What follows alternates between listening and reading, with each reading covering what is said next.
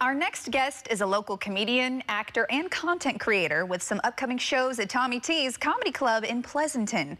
Here to chat about his next performance and new material is Hannibal Thompson. Hannibal, thanks so much for joining us. Thank you for having me. Yeah, super, super excited that we got to do this one last time. Right, right, right. so much fun. Now, before we get into your performance that's coming up at Tommy T's, mm. we first have to talk about some of your viral videos. Right. If people follow you on social media, they've probably seen some of these videos. Yeah, especially Niner fans. Especially the Niners fans. Yeah. Tell me about this content that you created. um, I'm a big Niner fan because I'm born and raised here in, in the Bay Area in San Francisco. Yeah. Um, and as the season goes on, like I think two years ago, I started every time the 49ers win a game, mm-hmm. I go into my character, All American P, where I put the wig and glasses on, and I do a dance to E40's Bang Bang Niner Gang song. Yeah. So, um, and I started this like right after like we win a game. But if we lose, we're actually looking at it right, right. That's right after we won an NFC Championship game. Yeah. So I do it when we lose too. So as I started doing them, I did it once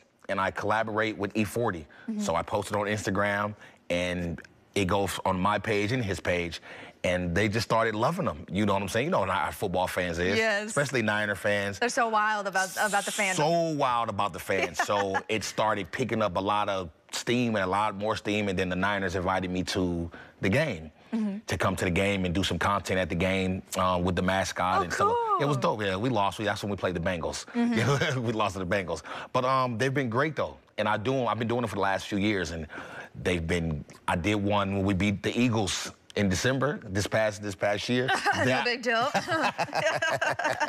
that one was super viral. Yeah. Yeah, so it's great though. And the one, of course, we made the Super Bowl. So those those videos, I'll continue to do those too, no question. Yeah, so much fun. So they can definitely find a lot of your content on your social media pages. Yeah, on my Instagram, yeah. Yeah, but you're also stand-up comedian. You're yes. making waves. You, have been doing this. This is your thing, and mm-hmm. now you are performing at Tommy T's. Yep. What what can people expect from this upcoming performance? Um, we just have. I, I, I like to call it a comedy party. Mm, okay. Yeah, I like why? to call it. Why is it a comedy party? Because we have so much fun while we laughing, man. you know, I'm not the I'm the silly comedian. Okay. Now, I'm gonna be very silly. I'm uh have fun. Like I said, uh, we're gonna dance. We're gonna all that. I'm not too much of the comedian who are gonna. Uh, I'm not gonna make you think. Okay. I'm not gonna get into serious like politics yeah. and race and no, man. I'm just gonna have a bunch of fun. When you leave that show, you're like, whew, I had fun. It's like black people dancing in church. Yeah, we're gonna, we gonna have fun. I love that. That's amazing. Okay, so they can come to your, when they come to Tommy T's, tell me the dates and the times so they can check you out. Um, This weekend, Friday, tomorrow, 7.30, and then um, I believe Saturday, 7.30 and 9 45, I believe, too, and then Sunday 7:30. Okay, so four four shows. shows. Four oh, shows. Four. Got it. Three days, four shows. Mm-hmm. Yeah, so we're gonna have a, a funky good time. You're gonna yeah. have a funky good time. Yeah, you heard it here first. Yeah, everybody. Exactly. Now, on top of the content creating that you do on social media, you're a stand-up comedian. Mm-hmm. You also have your own podcast. Just came out. Yes. Talk to me about the podcast. Uh, yes, uh, me and my co-host, uh, Sirhan uh, Street Food. Yeah, uh, we my, had him on the show. Yeah, you had him on the show. Yes, yeah. that's my co-host. Um, I started it last year. Um, it's called the Disclaimer Podcast uh, on my YouTube, on Hannibal Thompson, my YouTube page. Um, and we just talk about, it's real, we talk about, it's a comedy podcast. So we talk about everything, mm-hmm. yeah, everything and everybody, the culture, you know, what's going on uh, in the world. You know, we're in a content world today. We really are. So you have to, content is like TV now. Mm-hmm. So you have to give people, I'd like to give my fans as much as content it's possible, you know, mm-hmm. along with my live stand-up shows, of course. But the podcast is a space to where you know, you like you're you're a host, so yeah. it's a space where you re- it's like your space, your personal space. Mm-hmm. It's like your second home where you just relax and just have a conversation. Mm-hmm. You know, we, and we just doing it on camera now.